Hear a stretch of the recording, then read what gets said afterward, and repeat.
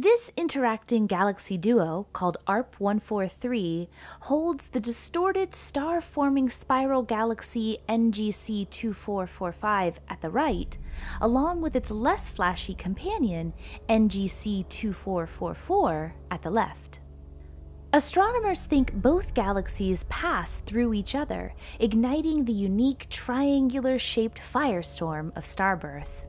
Because NGC 2445 is rich in gas, the fuel of star formation, it holds thousands of infant stars. Yet it hasn't escaped the gravitational clutches of its partner.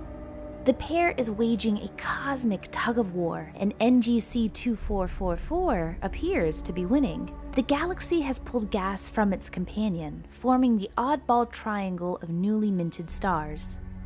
By studying head on galaxy collisions like this, we can better understand the origins and evolution of ringed star formation in galaxies.